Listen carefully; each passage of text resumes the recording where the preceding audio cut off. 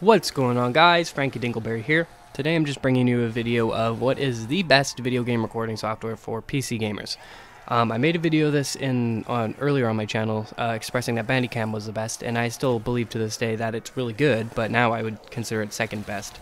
Um, the one I'm going to uh, suggest to you is actually NVIDIA Shadowplay, so unfortunately you're going to need a NVIDIA card, so if you have AMD, uh, then probably don't bother watching this video and go try out something like Bandicam or screw around with uh, their current software, which is Crimson, uh, for game recording. But uh, yeah, if you have a NVIDIA card, then cool, then continue watching this video. So first we'll just get into uh, some comparisons of the gameplay that I get from this as compared to Bandicam. Uh, so the first one, I'm going to show you some Modern Warfare 3 gameplay. This was just recorded from theater, not while I was in game. Um, so the first one is going to be Bandicam. So here, take a look at this.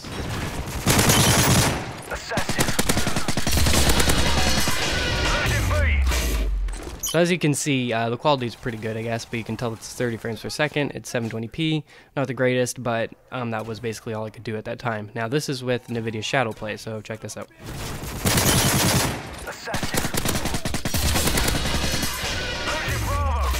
So as you can see, that's full 1080p 60 frames per second, which is great, and that's something I have not been able to do with Bandicam or any other um, PC game recording software, and I've tried them all, from Dxtory, uh, Fraps, I've tried OBS, um, Action, XSplit, um, the Windows Game DVR, Bandicam, of course, I don't know if I just said that, and yeah, I've tried them all because I, I really want to record games, but nothing has given me as great performance as Shadowplay. And the difference between those to this one is actually pretty massive. It's not just a small little difference worth noting. It actually enables me to uh, record full 60 frames per second at 1080p, which is something none of them would do at all. I would still only get maybe 30 to 40 being able to record at 720p. And uh, so as you can see, I'll show you actually another gameplay here. So check this out.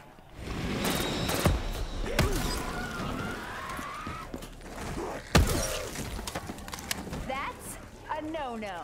As you can see, that's me recording Black Ops 3 on 1080p maximum settings, well that my uh, graphics card allows anyways. So when I play, I get max settings 1080p at about 49 to 55 frames per second. That's usually what I average in zombies here. And uh, when I record with Shadowplay, I don't drop a single frame at all. Like it takes, I take no hit for performance one bit. So I'm pretty sure that it uses the GPU as its main source of power as opposed to the CPU, which is obviously the bottleneck of my system. Uh, so yeah, that's a performance that I get while playing, and it's the exact same recording. So uh, once again, I definitely recommend NVIDIA Shadowplay. So here I'll show you how to use it. So if you have a NVIDIA card, just go go to your task or system tray, that's it. And then you open your GeForce Experience and it'll bring you up to this thing right here. And uh, if you click on this tab, My Rig, it'll give you all of your specs. As, as you can see, these are all mine right here. And it'll tell you if you're enabled for Shadow Play or not. So if you're enabled, you're good to go. If not, then, well, oh well, uh, upgrade your GPU if you can.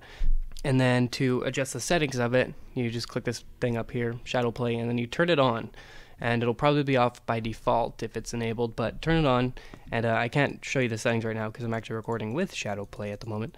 So it's like Shadowplayception but um, if you click audio then it would allow you to do in-game audio or in-game plus mic which is what I have it to. Quality could be low medium high or custom. Custom doesn't give you too much uh, customization as it should but um, so I just choose high because it's as good as the best custom offers and uh, you can choose shadow play or this this right here this is shadow time. So if you have this running it'll always record automatically however long you choose in the background so you don't have to really worry about manual recording. I just put mine on manual mode and uh, you could choose manual or manual with shadow time or just shadow time or not at all. And so um, yeah so if you go to your settings which is you click this right here or you can just go to your preferences and shadow play. These are all the settings that you really get, which kind of sucks, but uh, you can adjust um, where your webcam is. I don't have a webcam right now, so otherwise I'd be using it. Um, the status indicator, which would be the recording or not recording thingamajig right there.